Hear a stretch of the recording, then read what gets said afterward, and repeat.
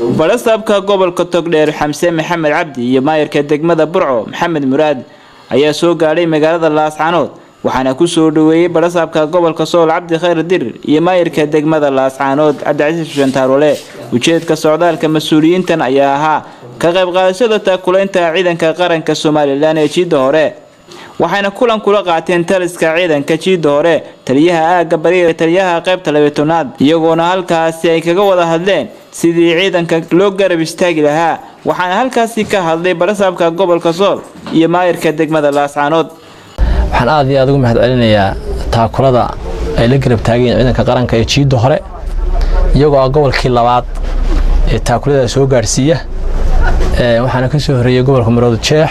Waxaan leenahay gobolka togdheer aad iyo aad iyo aad baad mahadsantihiin. Baaqii iska dibajooga ah aanu jeedinaynay haddaanu nahay maamulka gobolka ka degmadaba anagoo ku dhiiranayna maayirada iyo barasaabadu inay soo garab istaagaan ciidanka iyo shacabkaba waxaan leenahay aad iyo aad baad mahadsantihiin. Waa dhiirigelin bay ay ciidanka u tahay moral sabood bay u tahay.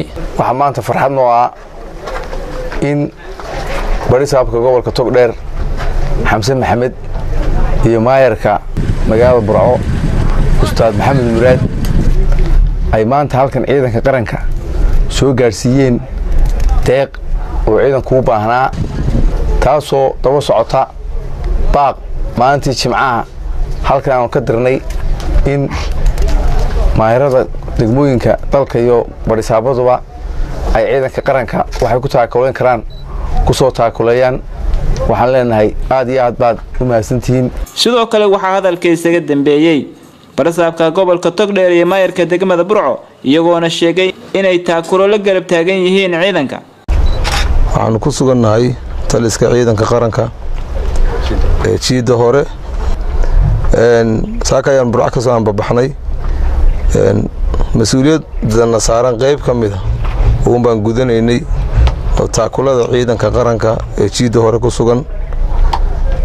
Waxaan odhan karnaa masaafadan soo goynay waa badan tahay laakiin waa bilow. Waxaa sharaf weyn noo ammaanta inaan ku sugannahay taliska ciidanka qaranka ee jiidda hore. Halkan oo aan soo gaadhsiinay aniga iyo guddoomiyaha golaha deegaanka ee maaragtay degmada burco. Deeq aan ugu talagalnay inaanu ku dhiirigelinno ciidanka ku jira jiidda hore. Dhiirigelintaas oo maaragtay aan ugu talagalnay inay nagaga daydaan? Ragga wixii ugu dambeyntii taliyaha qaybta labyatanaad shaale sare axmed hure iyo taliyaha aagga bari sareeye guuto cali bare ayaa ka mahad celiyey taakulayntan ay soo gaadhsiiyeen mas'uuliyiintani. Marka laga reebo kormeerka iyo aragtida iyo inay la qabaan ciidanka qaranka duruufaha ay qabaan ee dagaal ee difaaca dalkooda iyo xuduudda sugidda xuduudaha ay la wadaagayaan marka laga reebo waxa barasaabka gobolka togdheer iyo maayirku magaalada burca ay wadeen taakulayn ay ku taakulaynayaan oo ah raashin ay ku taakulaynayaan ciidanka qaranka ee jiidda hore ee tugaraq iyo laascaanood kaasoo ka kooban timir iyo kalluun. Gudoomiyaha gobolka togdheer iyo maayirka iyo wafdiga la socday ee halkan maanta nagu soo booqday. Iyagoo laba ujeedo ka lahaa.